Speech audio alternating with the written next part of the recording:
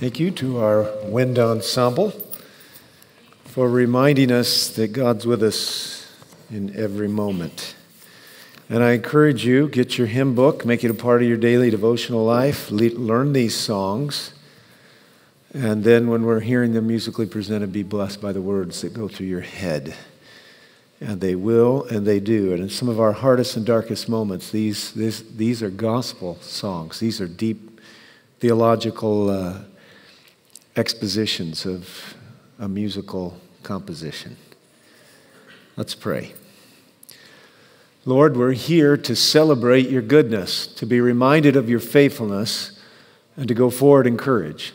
So bless me now, Lord. May I be prompted by the Spirit. May all of us be prompted by the same Spirit. And may we move forward as you lead us to our heavenly home. In Jesus' name I pray. Amen. I believe that God is doing a special work in the hearts of his people. And I believe that there is to be a final generation and that it is either our job to prepare that generation or to be that generation. I don't believe it can be long until Jesus returns because the earth is racked in the throes of godless leadership and godless culture.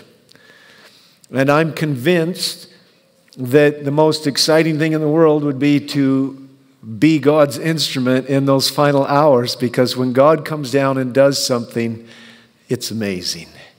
Take your Bibles and turn to the book of Isaiah, chapter 59. Isaiah chapter 59, I believe, is a divine preparation for our last day generation. Isaiah 59. And I want to encourage you to remember that Isaiah 58 comes before it, which is a call to minister to the hurting, the heartbroken, the homeless. It's a call to repentance, Isaiah 58 is. Cry aloud and spare not, the Bible says. Raise your voice like a trumpet. But in Isaiah 51, 59, that is, verse 1, it says, Behold, the Lord's hand is not so short that it cannot save, nor his ear so dull that it cannot hear. Now, there's, the Bible will be an inexhaustible source of study, reflection, and rejoicing throughout all time, but I want to go beginning with verse 15. And I'm going to start in the second half of verse 15. There is a phrase that says, Now the Lord saw. What did he see? He saw that truth was lacking, and anybody who turns aside from evil, the beginning of the verse says, makes himself a prey. It sounds like today's modern culture. Stand up for what's right, and you can be mobbed or sidelined or canceled. Uh, you can be cyber bullied or physically bullied. It says, Now the Lord saw, and it was displeasing in his sight that there was no justice. And he saw that there was no man, and he was astonished that there was no one to intercede. All right, now I want to remember the chapter starts saying out the Lord's hand is not so short that it cannot save, and his ear not so dull that it cannot hear. And he's listening and he's looking, and he says, There's a problem here. Anybody that does what's right makes himself into a target. And the Lord was, dis- was dismayed that there was no one to intercede. Now, the rest of verse 16. Then his own arm brought salvation to him and his righteousness upheld him. Now I want you to notice the pronouns. So this is him, this is his. Now it's going to go to he, verse 17. He put on righteousness like a breastplate and a helmet of salvation on his head, and he put on garments of vengeance for clothing and wrapped himself with zeal like a mantle. And this is what he said according to their deeds, so he will repay wrath to his adversaries, recompense to his enemies, and to the coastlands he will make recompense. Now, I appreciate my version of the Bible up here, the New American Standard, but I'm not exactly excited about this next verse as it reads here, but I'm going to read it how they've translated it. It says, So they will fear the name of the Lord from the west and his glory from the rising of the sun. Now, just get the picture. God is looking down at the earth and he says, Anybody who follows me and does what's right is a prey. And he says, I'm going to put on the armor. I'm going to go down and fight the battle. Now, in verse 19, the last part of it, according to the King James Version, says that when the enemy comes in like a flood, the Lord will raise up what? Standard. Now, a standard is a flag, and a flag is for an army. Now, the reason I don't really believe the New American Standard gets the translation right here is because all the verses before talk about Jesus putting on his armor. Now, I want to tell you, in the last days, Jesus is going to general the work directly. Jesus led them on an Exodus journey. He was the rock, Paul will write in 1 Corinthians. Jesus, he was the cloud. Jesus himself, at the end of time, is going to lead an amazing battle between right and wrong on a journey out of this world to our heavenly Canaan. Amen? That's what's happening. When the enemy comes in like a flood, the Lord Himself is going to come down wearing His armor and raise up a standard. Now, this morning, I can tell you that as, as a young man, I did not want to follow God's call in my life to be a pastor. And part of it was because even back in the 80s, when I was in those developmental years thinking about my life, I could see that so much of what went on with the church was kind of second rate and leftovers. I can remember in my first district, a lady bought a new chair for her house, and she gave us the old one, and I was offended. God doesn't want your leftovers, and I don't mean that bad. But that's part of the reason I didn't want to choose to be a minister, is because the levels of commitment by many. Now, the older generation that was serving had kept the church alive, and I want to praise the Lord for those seniors. Can I hear an amen? Where would we be without the men and the women who have some life education in God? I pray for these older men and women that God will lengthen their lives. I don't even want to think about not having them around to give counsel and encouragement. But I'm afraid that so many of our young people look at what's going on and it, it doesn't look like the noble, well disciplined, well financed, well unified, well prayed over, succeeding army going from victory to victory. I'm afraid they look at it and it looks like it's a sinking ship. And you know what the old adage is even rats abandon a sinking ship. And for me, making the decision to follow Jesus, to become a part of the leadership of this institution, it was very off putting. And I could see the honor that would come to other occupations. And of course, some of those were built around their education, and some were built around the amount of money they made, and some were built around the amount of influence they had. But I knew God was calling me to what I was doing. But I always longed in my heart that I would see and experience what the early Adventist church experienced the brotherhood, the sisterhood, the victories, the glorious affirmation from God that you were doing the right thing. I think about the, the sanitariums that came up, and I think about men like Dr. John Harvey Kellogg and the presidents and the movie stars and the rich people that made their way to Battle Creek to learn what God taught that man. And I, I even my father in law, who is now resting in Jesus, as a younger man, worked in the hydrotherapy department of the sanitarium. And you know, what they had done was so cutting edge, and it wasn't because John Harvey Kellogg was smart, although I'm sure he was, but it's because Ellen White says effectively that an angel stood by his side and taught him most of what he knew.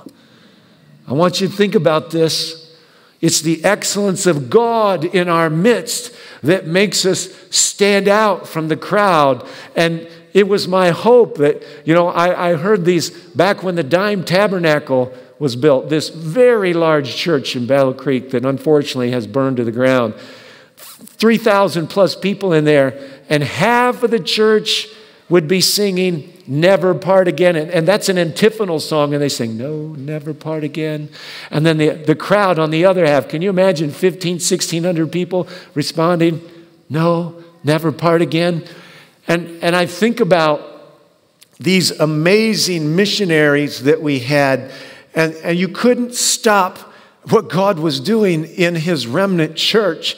And it spread around the globe, almost like the apostolic movement. In about a generation, we were in so many countries, and our young people, some of the smartest, brightest, most noble young men and women signing up to serve God, laying down their lives, becoming doctors and teachers and lawyers and nurses and engineers and advancing God's cause. And I, I thought to myself, what would it be to be a part of that? and today, I'm here to tell you, I think God is starting it up again. I had somebody sit in the committee room yesterday with me whose very life is an expose of God plucking him out of, I'll call, the swirling cesspool of corporate America, making tons of money and kind of proud about himself, and God plucking him out and saying to him, Son, I've got a higher call on your life. And now, the way he's serving, you know, uh, this morning, a few minutes ago, uh, one of uh, Corey Bush was up here. Do you understand how God is bringing together his people. I mean, in the beginning, 10 years ago, unfortunately, this church had kind of fallen into physical disrepair, and we needed a contractor. And the unfortunate thing is, when a congregation falls into physical disrepair, it falls into financial disrepair too. It's hard to say is it the chicken or the egg? And do you know that? I don't think he'd mind me saying this, he's probably listening. Do you know that? He became the contractor that started the journey with us to remodel this place. And do you know, it was hanging in the balance of just a few hundred dollars on a $200,000, almost $200,000 project that got that company merged in here. And then if you listen to him tell his story, let him talk to you about being a nominal Seventh day Adventist and how God started moving on his heart. I'm here to tell you, friends, it's happening over and over and over again. And I'm watching the Spirit of God starting to move on people's hearts to understand not only the time in which we are living, but the glory of being used by God. This is what is happening.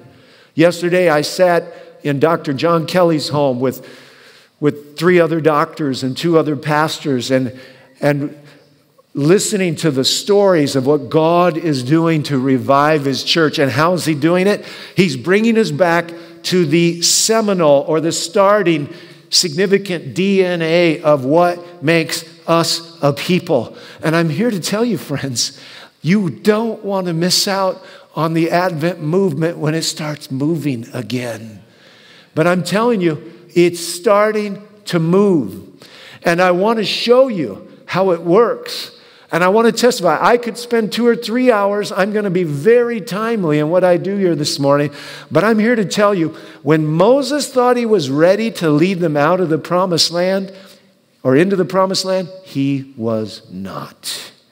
As a matter of fact, he killed an Egyptian. He had the best education there was, and it was an education that actually had to be undone. And as a subgroup of people in America and around the world right now, Seventh day Adventists have some of the best educated subculture that exists on the face of the planet. But I'm afraid the education we've gotten looks and acts a little bit too much like the rest of the world. And what we need to get is the simple faith in God to take our best professionalism and all of our experience and, and set it humbly at the foot of the cross to say, Lord, I'll use it if you want me to, but if it looks like what you're calling me to do is in defiance of what I know, I'm going to follow you anyway. And I value and praise the Lord for the amazing giftedness of our people across the spectrums, what some of these folks can do and how powerfully they can think. But what's even more beautiful is watching God's people come together in sweetness and harmony. I'm here to tell you, Wednesday night, I asked this congregation that was here at prayer meeting, I'm inviting you all to be at prayer meeting, although there won't be a prayer meeting this Wednesday night, but it'd be nice if in your own homes, gather together and do a little thanking God. It is Thanksgiving the next day after this Wednesday. But this prayer meeting, at the end of the prayer meeting, I said to the people gathered here, I need you to pray. I have a problem so big, I can't fix it. And I want to tell you, it was probably the biggest problem I've faced in my pastoral life. And I can't tell you what it is, but I can tell you this the next day, God fixed it in a miraculous way. And the outcome of that fixed prayer will be an amazing, amazing blessing that I will never be able to fully explain this side of heaven. But I want you to know something God is putting on his armor he sees the enemies come in like a flood, and he's getting ready to come down himself and take charge of the battle, but he's asking us to get in a little bit of discipline, military discipline, as it were, a little bit of a lot more togetherness and a lot more focusedness. That's what God is calling us to do because he's getting ready to lead a mighty movement again. I'm here to tell you, Moses wasn't ready. He killed the Egyptian. And he had to run for his life because God wasn't going to use Moses' education to lead Israel. And Moses wasn't going to be the leader, he was just going to be the face and the mouth. He goes 40 years in the wilderness. And towards the end of that 40 years, he sees a strange thing. Something's on fire on the side of Mount Sinai. Mount Horeb is another name for it. And as he starts approaching, he gets close enough to see it's a bush, but it's not going away. You know, deserts are dry and things burn fast, and this isn't extinguishing itself. And when it gets closer, God says, Moses, take off your shoes. You're on holy ground. He takes his shoes off. He gets close. God starts talking to him. He says, I've heard the cry of my people. Listen, friends, God is allowing some bad things to come on this earth so we can see Egypt isn't heaven. Heaven is still across the spiritual Jordan. There's terrible things happening around us.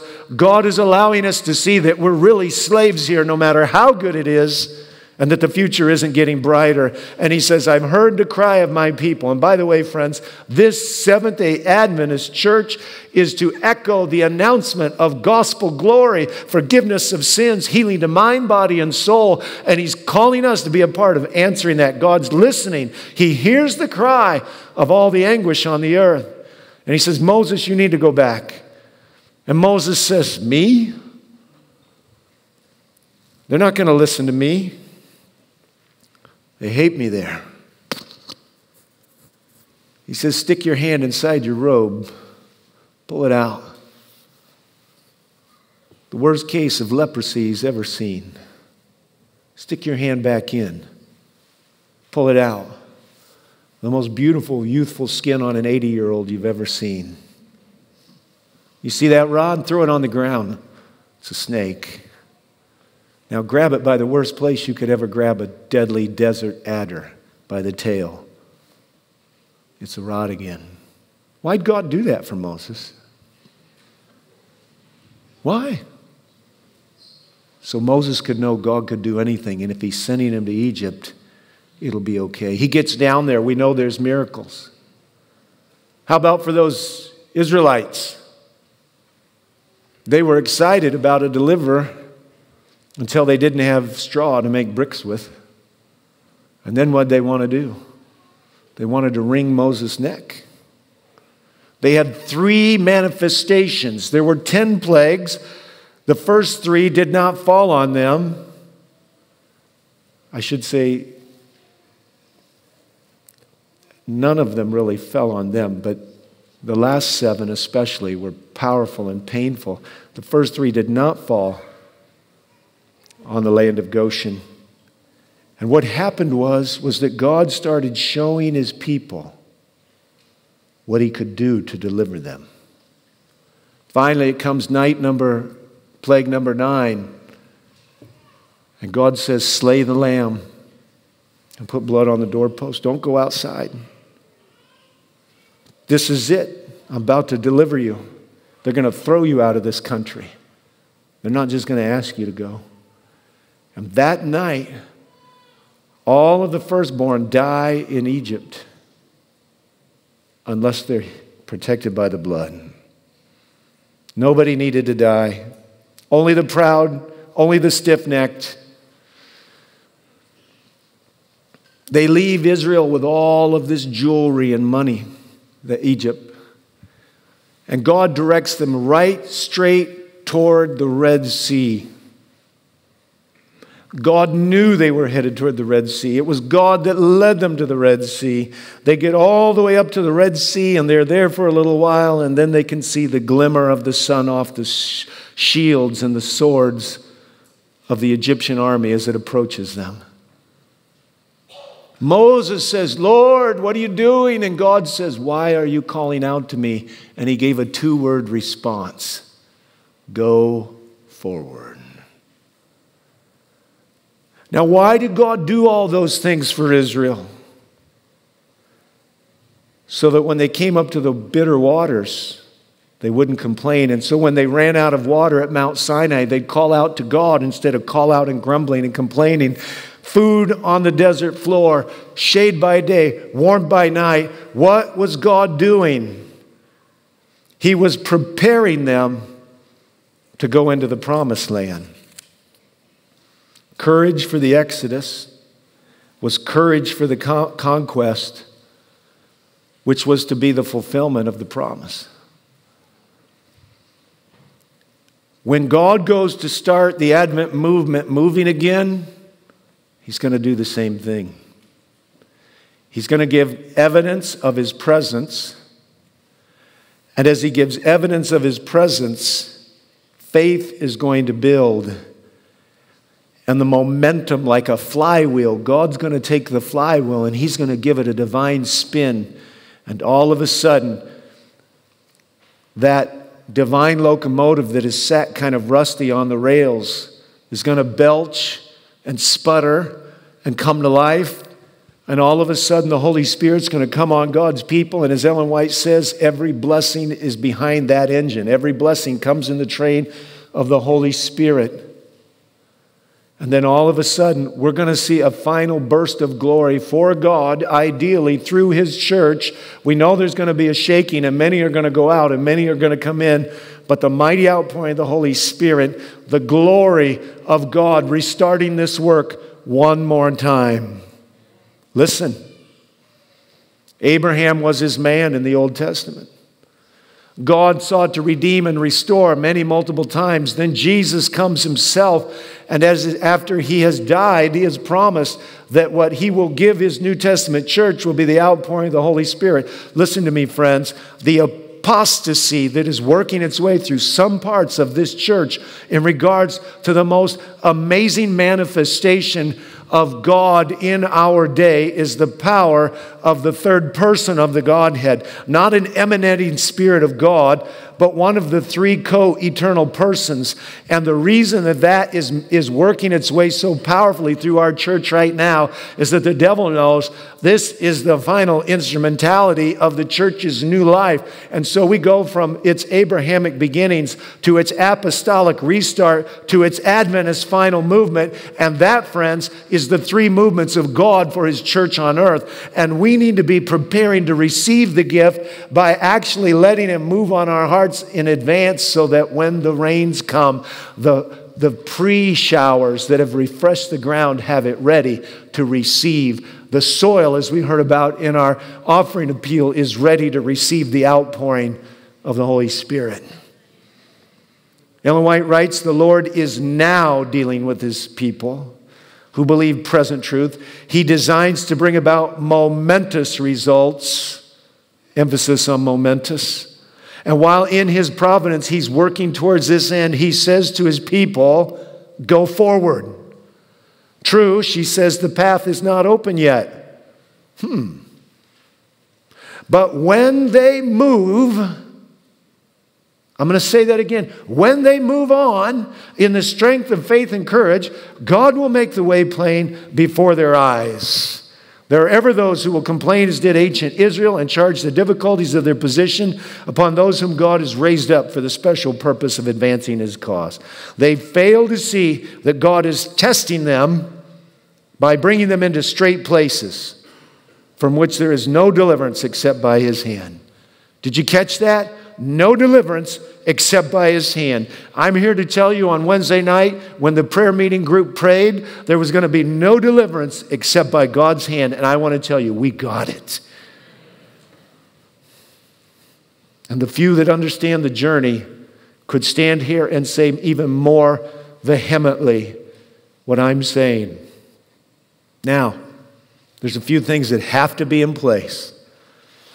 And I will tell you that I believe by God's grace, the experience of this local church may be, could be, would be wonderful if it indeed turned out to be a catalyst for creating a little energy for the movement. Here's what she says in the ninth testimony If ever the Lord has spoken by me,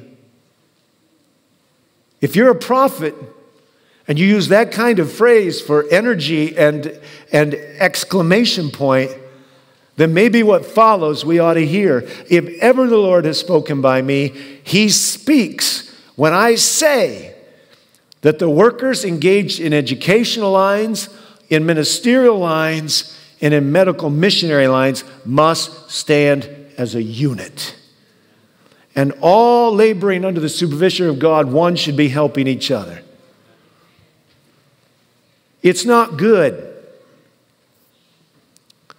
It's not good.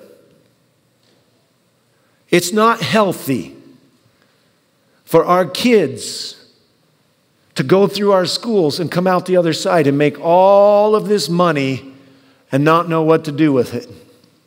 Some doctors, some engineers. It's not good for the church to watch what are supposed to be medical missionaries get so deliberately tempted by the devil with all the resources and the invitation to an easy, pleasant, convenient life. It's not good. No, the church needs its medical people not to take their medical resources from their great medical education and somehow drift from the teachers and the pastors. And it's not good for our education and its, its institutions to drift into the arms of worldly affirmation, doing things largely the way the world does it, without recognizing that the, the hand and the head are every bit as much about a divine education, the hand and the heart, as the head is. And it's not good for the pastors to allow themselves to descend at times into very unprofessional ways of living and doing, it's sad. Educators have to get continuing education, and doctors have to get continuing education. But there's no worldly group out there that's going to say pastors have to get continuing education. You see the, the, the professionality and the spirituality and the unity of these three groups working together is the DNA of the Seventh day Adventist Church from its earliest origins. And when that unity is lost, everybody suffers. And then you get to a place like we are right now where it's hard to get young people to be teachers and preachers. Doctors isn't such a stretch because you can go out and make two, three, four hundred thousand dollars a year, whatever your specialty gives you or more. God intended that our teachers are missionaries. And God intended that our doctors are medical evangelists. And God intended that our preachers are spiritual men and women that can lead by faith with courage and professionality in the Spirit of the Lord. I grew up at the bottom end of the middle class. I was asked two times to leave school. When I got into my ministry, It seemed like every church I got to didn't want to spend the little bit of money they had or didn't have any to spend. And the bigger the church, the less money they had. But I want to say to every denominational employee listening to me right now if your institution doesn't have a budget, there is something you can give. You can give more of yourself, and God will honor it. The miracles that preceded the Exodus were the miracles that God's people needed to make the journey. Moses needed a different education, so God took him 40 years into the wilderness. And a lot of our very professional people, pastors, teachers, and doctors, and everybody else are going to need a little bit of a different education because what God's getting ready to do, nobody's getting any credit for except God.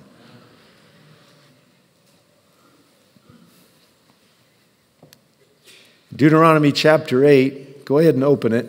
Deuteronomy chapter 8. This is what the Bible says.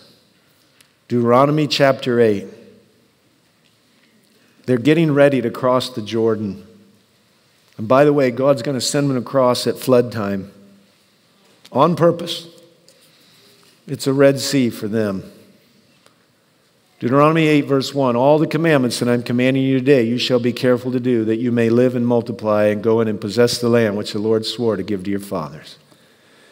Jesus never intended that any of us shouldn't receive the inheritance. And what God wanted to do in the Old Testament was to make Israel a shining light through whom the whole world can be converted and his kingdom could come into reality. Didn't happen. Verse 2 You shall remember all the way which the Lord your God has led you in the wilderness these 40 years, that he might humble you. It's too bad God could work such mighty manifestations and they would, in their pride, say, Just let us go back to Egypt that he might humble you, testing you to know what was in your heart, whether you'd keep his commandments or not. He humbled you, and he let you be hungry, and he fed you with manna, which you did not know, nor did your fathers know, that he might make you understand that man does not live by what? Bread alone. But man lives by everything that proceeds out of the mouth of the Lord. Your clothing did not wear out on you, and your feet did not swell these 40 years. I just want that to settle on you. Because as the Advent movement gets ready to move again, we may need some miracles like this again. Verse 5 Thus you are to know in your heart that the Lord your God was disciplining you just as a man disciplines his son. Therefore, you shall keep the commandments of the Lord your God to walk in his ways and fear him. For the Lord your God is bringing you into a good land, a land of brooks, of water, of fountains, of springs flowing forth in valleys and hills, a land of wheat and barley, of vines and figs and pomegranates, a land of olive oil, honey, a land where you will eat food without scarcity and in which you will not lack anything, a land whose stones are iron and out of whose hills you can dig copper. And when you've eaten and you're satisfied, you'll bless the Lord your God for the good land which he's given you. I'm here to tell you, friends, that was a symbol, that was a type the antitype or the reality is upon us. He's going to take us all the way to heaven. We're going to live in a land where we never die. The streets are going to be gold. The atmosphere is going to be love. The beauty is going to be fellowship. The worship is going to be to God. Nobody's going to worry anymore. We're going to be home, home, home. This world's not your home.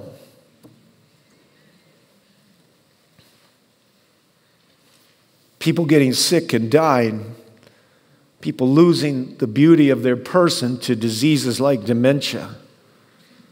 People who were once young and strong and vibrant and committed, worn down by life.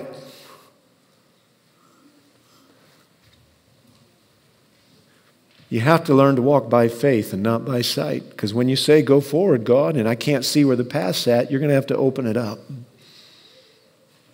Now, I want to remind this church of a few things. God has blessed this congregation in every way. You're sitting in a beautiful church. The building is the least important of everything. There is, by and large, a sweet and harmonious spirit amongst this group. There is a missional focus of this group. There is a strong financial component of giving and commitment in this group.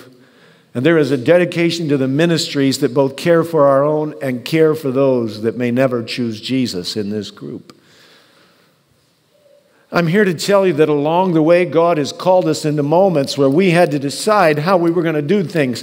Were we just going to focus on ourselves, or were we going to let Jesus call us into a strait place where the only deliverance was going to be His? We have chosen as a church to focus on mission and the foreign mission at that. Not that we don't have local mission, we just had two marvelous days of local mission, praise the Lord. But I'm here to tell you something. About five years ago, we said to ourselves, we're not going to replace this roof just yet. We're going to keep doing some of our other things. And what we've done is we took care of something in the building and then went back and took care of somebody else that's not associated with us. Could be a church in another land, could be wells in India, could be any kind of thing. And after we do something for somebody else, we'll come back and we'll take care of our needs. And I want to tell you something. Not only did our roof not wear out in those years, but God gave us a new roof on the whole building. Praise the Lord.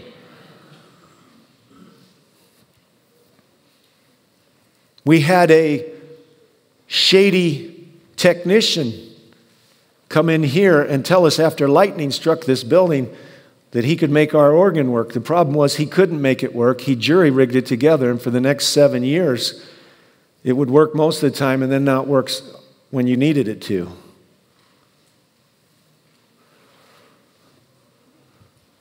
We had our fire system go out. We had parts of our sound system go out. What we didn't know was that it had ruined our organ, too. And when they took the back off it and they could see how it was jury rigged together, it's like, oh, we got a problem. And as you heard in the workup to the business meeting, God did with the insurance company what never happens. They honored a request to replace our organ, even though it was seven years later.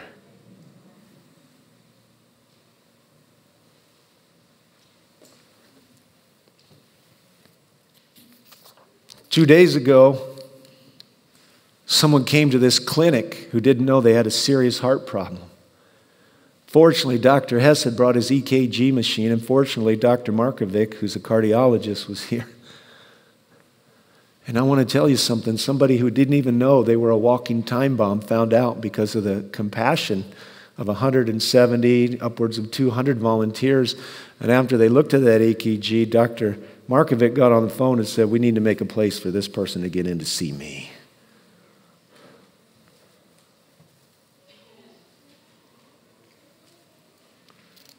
So I'm going to spend the rest of this message. Actually, I want to read one more quote to you. I'm going to spend the rest of this message trying to get you to see the signature of heaven. Now, a church can't go forward if its leaders don't know how to discern the will of God. They have to be in the Word, they have to be willing to obey, and lots of churches aren't willing to obey. I'm here to tell you, lots of churches aren't willing to obey. You know why lots of churches won't obey? Because their leaders don't live like I'm about to describe. They live by sight, not by faith. And their commitments to themselves first. And if it's inconvenient or scary, they won't do it. And the first thing they all ask themselves is, where are we going to get the money? And God specifically holds the money back until you start moving. Yes, you got to be willing to obey. You got to read the Bible. You got to check yourself with some other people. The Bible says anybody who isolates himself rages against all sound wisdom. The Bible says there's wisdom in the multitude of the counselors. When you want to do what you want to do and you want God's stamp on it, just ignore what everybody else says. When you're really in God's will, you find a godly person and they'll affirm that you are, or they'll tell you that you're not. And finally, after you think you are in God's will and you know His word and you've read the resources, maybe the spirit of prophecy or something else that can give you some direction, when you finally sense that you've got maybe a word of encouragement from a godly man or woman. And when that peace is in your heart and you actually do it, God shows up circumstantially to say, Yes, you heard me right. I opened the way, now you know. And the next time you have a little bit better ability to sense what he's saying. Learning to hear God's voice is the Abrahamic journey. It's mine, it's yours, and it's a group's. And when a church peoples itself and practices a culture that won't move by faith and only moves by sight, you get what we've got in Adventism. So you better find enough leaders who are willing to go on a journey. And if you got to start small, start small. That's how this church started small. But what happens is when God does something, you're supposed to acknowledge it and say, okay, God, we're going.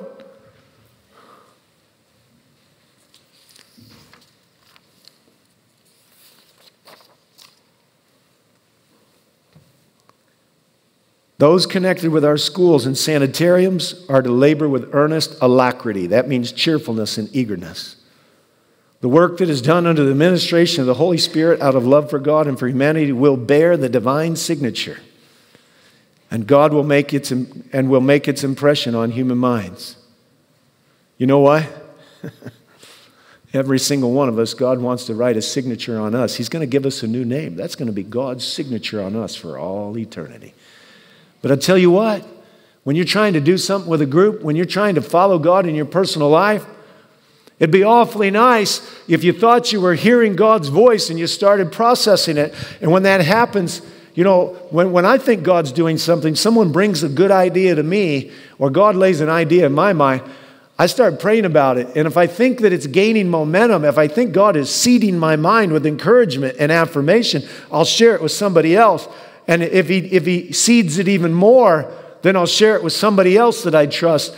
And pretty soon it's like, I think God's doing something here. And I want to tell you, when you process something like that and it works its way out through fellow pastors and elders and a board and a group of a, a, group of elders. And when you finally bring it to a business meeting and you have what happened what happened here where we had a unanimous anonymous vote you could have any one person out of the 100 and almost 50 people that were here could have just written no on their piece of paper. But nobody did that. Yes i'm talking about moving forward with our media medical and student focused ministry through the purchase of this property next to us here. I have never in my whole life run a business meeting. Most of the board meetings that I work with are almost always unanimous yes votes, but in 30 plus years of ministry, I've never had a unanimous yet business meeting vote. Because all you have to do to be in a business meeting is get out of bed on the day of the business meeting and show up. You don't have to come to church. You don't have to read your Bible. You just need your name written on the books of the Seventh day Adventist Church you're a member of. And I, have I've watched people who are the most negative people in the world. They don't even come to church, but if they hear there's a business meeting, they'll show up.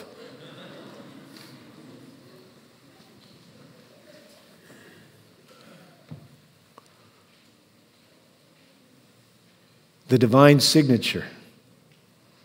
I'll read you another quote. My brethren, the Lord calls for unity and for oneness. We're to be one in the faith. I want to tell you that when the gospel ministers and our medical missionary workers are not united, there's placed on our churches the worst evil that can be placed there. Now, listen. She uses this phrase very limited. She only uses this phrase for two situations the worst evil. When a parent practices so called tenderness, coaxing, and indulgence towards the youth, she says this is the worst evil that can come upon them. So there's a worst evil from the home. That's a parent who doesn't know how to rightly use love and authority. And there's a worst evil on the church. That's when the doctors and the pastors aren't united. You study it. Now, we've got some worst evils that are working against us. But we also have the call from heaven right now to move forward. And I believe where God is doing it and how He's doing it is right here. So on Wednesday night, two and a half weeks ago, we had a, a meeting, and I went over with anybody that wanted to what the Saturday night board meeting was going to be about. And the next day in the afternoon, I invited our online members to Zoom in and to know what the meeting was going to be about. When that online meeting ended, just before it ended, one of the online viewers texted me and said, I'll put a check in the mail tomorrow or as soon as possible for $5,000 and more will come. Now, the project hadn't even been voted yet. Saturday night, we come up to the meeting and there's not one negative thing said. Now, I have no problem with iron sharpening iron. I really believe we got to look at everything from both sides. But there was the sweetest, most beautiful spirit about that meeting. And when it was all said and done, everybody in the privacy with their own pen and their own piece of paper wrote yes on the ballot. At the end of that meeting, someone walked up to me and I stepped to the edge of this and they handed me a tithe envelope. I didn't look at it that night. I do have a right to look at tithe envelopes and people's financial habits. I actually have an obligation to talk with people who are not returning to God his money and they're robbing him. Not a very pleasant part of a minister's job. But I want to tell you, I decided to have a look at it the next day. And the 5000 from the online viewer was matched by a $5,000 from the person who handed me the tithe envelope that night.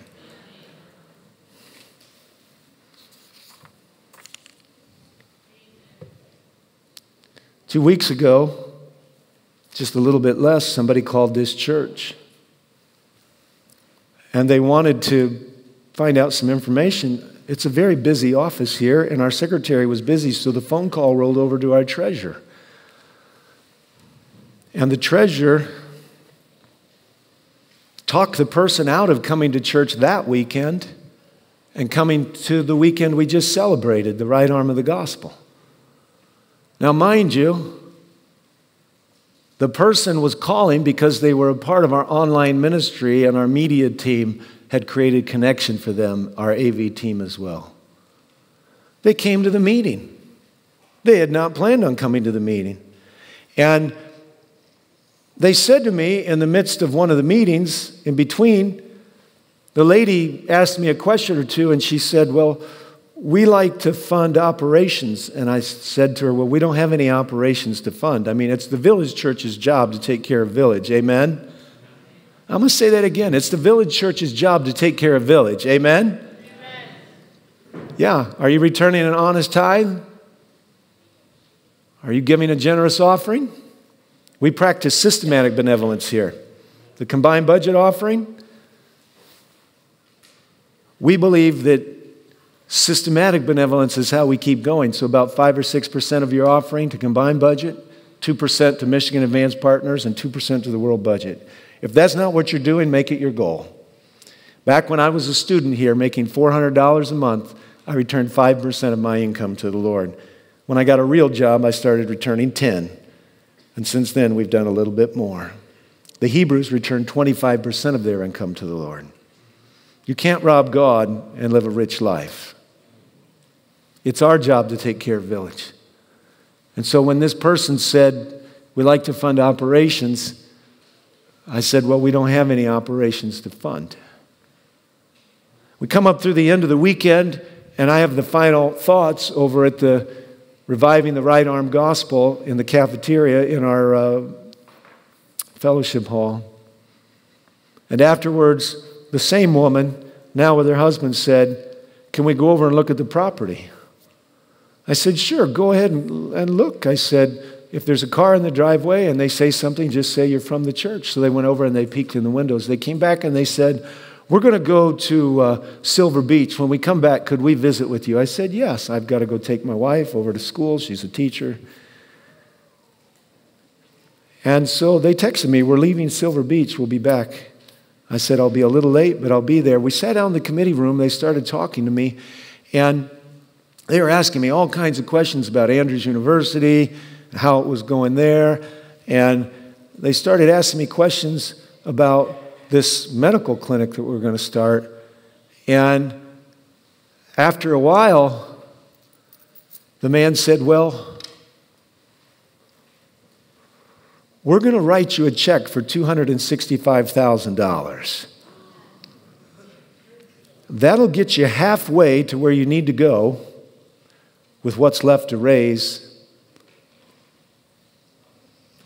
And he said to me, he said, We're a hundred years behind on this. I want that to settle in on you. If the worst evil is separating the doctors and the teachers, maybe the biggest blessing will be getting them back together. What do you say? Just like we were last weekend just like we were on Friday as I'm visiting with the Grand Rapids pastor and the Lansing pastor. Then he wanted to know about the Lake Union Revolving Fund. He said, How does that work? Because he had heard we were going to be prepared to borrow some money if we needed to. I said something along these lines. This is how it works. Because, you know, the Bible says not to charge usury from each other, interest.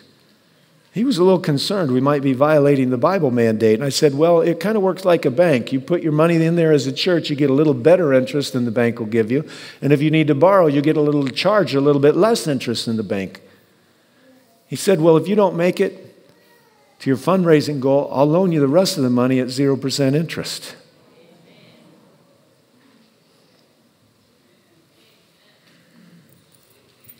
My treasurer told me the next day that $18,000 had come in online.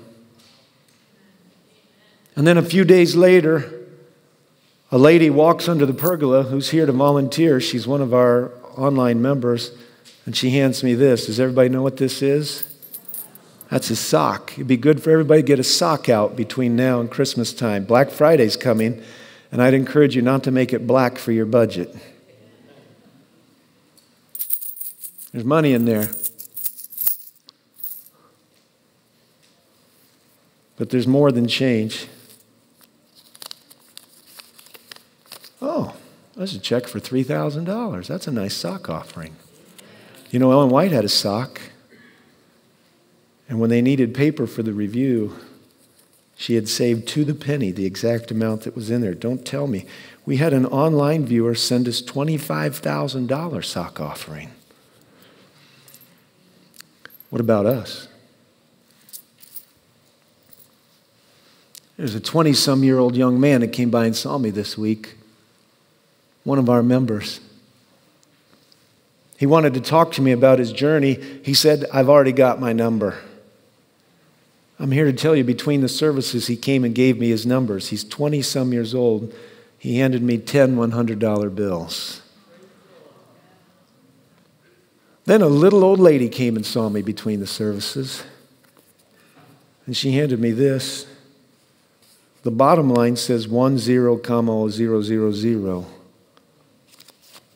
Then I had my treasurer call me, text me between the services, and she said, Pastor, now listen, this is a treasurer. By the way, we have an exceptional treasurer. She said, Pastor, she didn't tell me this. She said, Pastor, I emailed the conference on Thursday and told them we're not going to need their revolving fund note. And then I had an online viewer between the services text me and say, I have another $10,000 for you. And I just want to ask all of you listening, what's your number? At the end of the elders' meeting, I met with the elders in the church board on Wednesday night. You know why I met with them? Because they're the leaders. And I wanted to know what they were going to do. And I didn't, I told them what I'm telling you right now, so they already know about this, but I said, What are you going to do? I don't want them to tell me what they're going to do. I don't even want you to tell me what you're going to do. It's between you and God. But he speaks loud enough to people who are listening. But I had one elder, it was about time to sing the doxology, and I had one elder say to me, Pastor, can I say something before you sing the doxology? I said, Yes. Now I'm going to paraphrase what he said. He said, In my family, I'm the spender and she's the, she's the saver. I could ask for a show of hands to see how many men are spenders and women are savers. I think it might kind of reflect the general trend, although it's reversed sometimes. And they said to each other, You pray about your number, and I'll pray about my number. And you know, when, when you're the spender, it sometimes means you're a little bit more of the giver, too. And when you're the saver, it means you're a little bit less willing to give. And he said, We prayed about our number, and when we both revealed our number, my wife's number was twice as big as mine. I said, maybe you can share your testimony on Sabbath. But I only made it about three rows back when another elder caught me and he said, Pastor, he said, I did the same thing he did. And in my family, it's the same way. I'm the spender and she's the saver. And he said her number was three times bigger than my number. Now I'm here to tell you in my mind, there's a divine signature on reviving the medical missionary work. And it just might be that the privilege is for the village church to be a part of the consortium of churches that lead the way on reversing the worst evil and making the greatest blessing come back to what we're doing. Because our young people don't need to get great educations to go out to make great salaries without any great purpose. What they need is the greatest education of all that gets hand, heart, and head and weaponizes them against all the darkness and makes them a soldier in the army so that when the general puts on his puts on his armor and comes down and holds up the standard because there's a flood of evil coming in. They all listen to his voice and they fall into line, and the church is like an army, terrible with banners, and like a mighty army moves the church of God. Brothers, we're treading where the church has trod. We are not divided, all one body. We one in faith and doctrine, one in charity, and the world knows through the harmony and the focus and the unselfishness and the commitment and the clear presence of God in our midst that something is going on. This is where the church is at. And I have no doubt that between the 20 somethings and the little older women in Israel, between the sock offerings and the sacrifices that we make, if we really need to take anybody up on an offering, by the time we need to pay, for the four acres next to us, which are set aside for medical ministry, media ministry, youth ministry, educational ministry. We don't know what God's going to do with it, but I know this. I don't want to be left behind when the divine army starts marching and the gates of hell are being beat on. I want to be right there with Jesus because he's taking this church from victory to victory, and that's what I've been waiting for for a long time. It's time God's moving. You get to decide if you're getting on the gospel train. You get to decide what you're going to do. But I don't plan to call up the man who had his wife write the $265,000 and say, Well, it hasn't worked out too good here. Could we borrow some at 0% interest? Listen, the way doesn't open up till you start moving. This was almost a million dollars. I didn't know how it was going to move. I thought, Lord, where are we going to get all that money? but I'll tell you what, he said he owns the cattle on a thousand hills. I guess he went to one of the hills and brought in some cattle. But I do know this we're going to have harder times in front of us. That's why he's making this so easy. Listen to me. We're not in a strait place, we just have a big mountain to climb. After we all give our money, we're still going to have nice cars and decent houses. We're still going to have a decent Christmas. It's going to get strait somewhere along the line. We're going to come up to our own Red Sea. and when that time comes, I don't want to be on the complainer's wagon. I want to be on the, the, you know, what's the song say? This train is bound for glory, this train. Cloud by day, fire by night, water out of the rock, manna on the ground. I'm going home. Before I get there, I've got to learn some more faith. Ideally, I learn it with you. And ideally, we encourage the rest of the churches in the North American division and the world to rally together to get the educators, the doctors, and the pastors lined up together so that we can weaponize everything we know in the gospel message to enlighten this world and as the glory of the Lord rises on us, the wealth of the Gentiles will come to us. That's what Isaiah says. It's happening. It's only going to happen more. Don't miss out. The song we're going to sing as a closing song spells it out. You may not be able to do this, but there is something you can do. So let's rise up and do it. Let's stand together.